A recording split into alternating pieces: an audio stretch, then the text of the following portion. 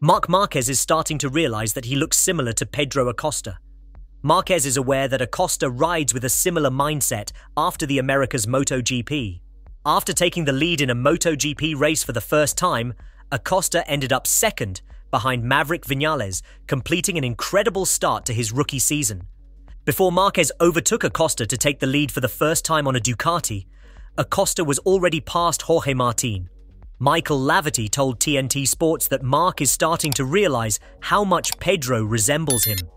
He always makes cuts back. Although everything between the two riders was clean, it's clear that Acosta wants to get back against Marc straight away. At turn 11, Marquez lost the lead in the race and went into the gravel, allowing Vinales to win and Acosta to record his highest MotoGP result to date. The crash was put down by Gresini rider Marquez to an issue with braking issues. Neil Hodgson said, I didn't understand his crash at all. It was odd. He went down very early. There was obviously a problem with his brakes. He made a few moves that I don't think he planned. However, if there's a minor problem with your front brake, or if the lever isn't quite where you want it to be, that could be the reason. He'll be happy, for the most part. He now understands his crash's cause. He was leading the race at the moment. On the old bike, he was the top Ducati rider. Marc is like that. He'll take every good thing that came out of that. This season, Marquez has shown to be the fastest rider on a Ducati GP23. But he has finished the last two Grand Prix outside of the points, even though it might be said that luck failed him. After three rounds, Marquez is behind championship leader Martin by 44 points. Importantly, for Ducati's star new recruit, he failed to perform up to the pre race expectations that predicted he would win on his new bike. At the Circuit of the Americas, Marquez has won seven times, but his chance to add an eighth ended in the gravel. Acosta wanted to avoid grip problems after experiencing them late in the sprint, so he tried to save as much tyres as he could. Although the battle increased along the process, Acosta said that taking the lead in a Grand Prix didn't increase the pressure.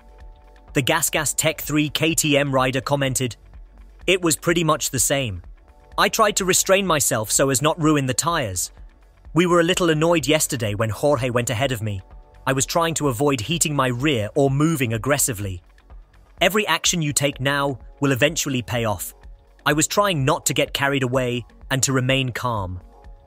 Speaking about his fight with Marquez, Acosta thinks he understands why the eight time world champion crashed. Acosta said, Very nice move that he made. It was great. There were some damp places in this area the entire weekend, which is why I believe he crashed. He was a little on the left side, but it was still a great battle with Marc and the boys. He is teaching me a lot of stuff. He is incredible talented.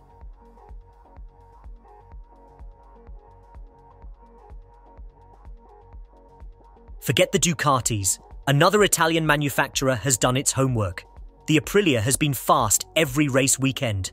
Is fellow Italian manufacturer Aprilia ready to challenge Ducati as the most competitive bike in the MotoGP class? In terms of race victories, the current score after six races this season is 3 to 3. However, Aprilia only has four riders on the grid compared to Ducati's eight. With Maverick Vinales riding the RSGP, which has won three of the last four races, momentum is undoubtedly with the team. Massimo Rivola, CEO of Aprilia Racing, spoke to TNT Sports after Vinales' flawless double at Austin last weekend, which included moving up from 11th to 1st in the Grand Prix. To be honest, if we really analyse the data, the number 41 was the fastest bike in Qatar. If we analyse the specifics, the number 12 was the fastest bike at Portimao. Once more, the number 12 bike was the fastest one here. Vinales only found the balance he was looking for at Portimao, having struggled to match Espargaro in winter testing and the first race in Qatar. It's possible that our bike is a proper racing bike. It's not a production bike that performs flawlessly on every track. We are all going above and above. It's difficult to find the perfect spot, Massimo Rivola said. With Maverick clearly in the right place, we are headed in the right direction.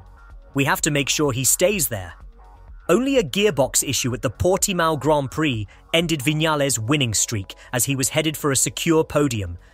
Reliability was clearly a problem in Portimao. However, given how quickly the performance has grown over the last few years, Rivola admitted that there may be less time to maintain consistency in reliability. It's the cost we must face. Later in the season, we'll take another step. We are aware of the projects we are working on and their potential benefits. However, it takes time. He stated, it's not a plug and play device. Lorenzo Savadori and the test team and our suppliers need to work hard and quickly on this. With three points separating him from Ducati Lenovo's Enea Bastianini and Pramac Ducati's Jorge Martin, Vinales is currently third in the World Championship. But in Austin alone, Vinales scored 17 points more than the top two Ducati riders combined. Prior to unforeseen grip problems, Espargaro was the clear favourite to win the Grand Prix after finishing third in the Qatar sprint. Now he is 17 points behind Vinales in seventh.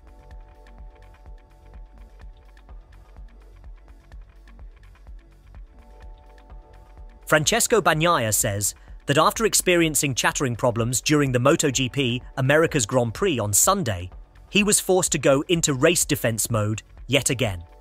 Factory Ducati rider Bagnaia finished over seven seconds behind race winner Maverick Vinales after dueling early on with Marc Marquez, Pedro Acosta, and Jorge Martin for the lead in the race. Bagnaia lost pace with the lead pack and was unable to keep up with Aprilia's Vinales and second placed Acosta on the KTM during the second half of the 20 lap race. Also, he was unable to challenge teammate Enea Bastianini's Ducati GP24 and Pramac rider Martin. At the Circuit of Americas, the Italian rider used a soft rear tyre. This decision allowed Bastianini to climb to third on lap 18, after he had effectively tested the compound's durability during the warm up earlier on Sunday. But he was forced to maintain his position and try to save as many points as he could in Austin due to tyre vibration issue that dogged him in the Qatar race and ruined his Portugal weekend. I had a great start to my race and felt good. After the sixth lap, I thought I could challenge for the win or the podium, he said. But I started to have a lot of chattering, a lot of vibrations on the left side, and it was very difficult to manage everything. On the right side, I completely ruined the tyre. Therefore, making corners on the right side was also difficult. After seven laps, I raced in defence, and it was really challenging. I made an effort to handle everything, but in this case, it's obvious that we need to understand the situation and find solutions because things are quite challenging at the moment. The fact that I had to start the season racing in defence is a lot like what happened in 2022. I have complete faith in my team to find a solution. We'll be competing for the top spot once more. Perhaps Ducati's least competitive weekend of 2024 was at the US round, as Vinales stunned everyone by coming from 11th on the grid to win, and Tech 3's Acosta finished second to drop Ducati to third place overall. After three rounds of the season, reigning champion Bagnaia is in fifth place in the standings, 30 points behind championship leader Martin, but the 27 year old's DNF in Portugal, which came about as a result of a collision with Marquez, skews the picture in the riders' table. What are your thoughts? Does Acosta have similarities to Marquez? Let us know in the comments down below, and don't forget to like and subscribe for new upcoming videos. Thanks for watching.